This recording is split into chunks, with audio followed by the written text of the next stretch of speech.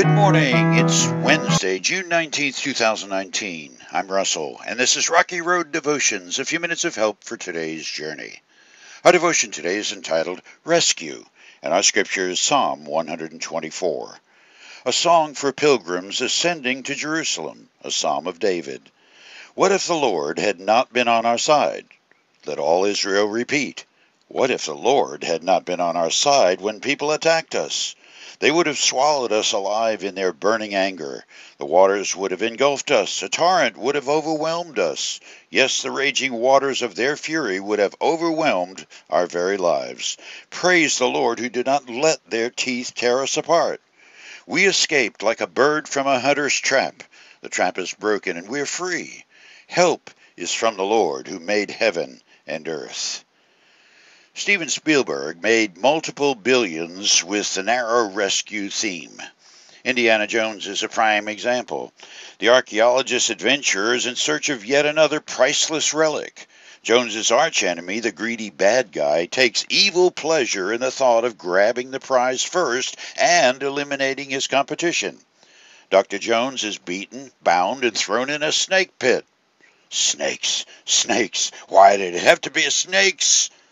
With the bad guy looking down on the vanquished Dr. Jones, he smiles and seals the entrance. But in just a few minutes, jumping heroically from one crumbling rock formation to another, Indiana narrowly escapes for the 1,282nd time in 14 minutes. It's a new record and totally believable. Wink, wink. Most of the action and adventure movies ever made ought to have Psalm 124 as a footnote on their scripts. As entertaining as escapism is, pardon the pun, it works against living in reality. Superpowers aside, like the invincibility of characters in a video game where you kill 50 attackers per minute, and if they get you before you get to the next level, well, you just boot up and go again. Well, pardon my cynicism, but where was Indiana Jones on September 11, 2001? Why are there untold millions of war dead lying in graves along with millions more victims of earthquakes, storms, terrorists, and other deranged and deluded aggressors prodded by evil to bring pain, heartache, destruction, and loss? And yet, there are those inscrutable rescues which do occur. I believe everyone gets at least a few in a lifetime. There's that familiar close call on the interstate where you thought you weren't going to make it or that time you lost control in the snow or rain. That time you thought you were going to get fired and the reason the boss called you in was to tell you about your new raise or promotion. And what about that ominous message the doctor's office left on your answering machine to please call back the minute you get this message? David knew exactly how you felt at those times. King Saul was once David's friend and benefactor. Now he was the pursuing enemy. King Saul had hounded David out of Jerusalem and chased him so ferociously he had to hide out with the wild animals in caves. And by the skin of his teeth, David was rescued and wound up on King Saul's throne. So, what's the connection with Indiana Jones here?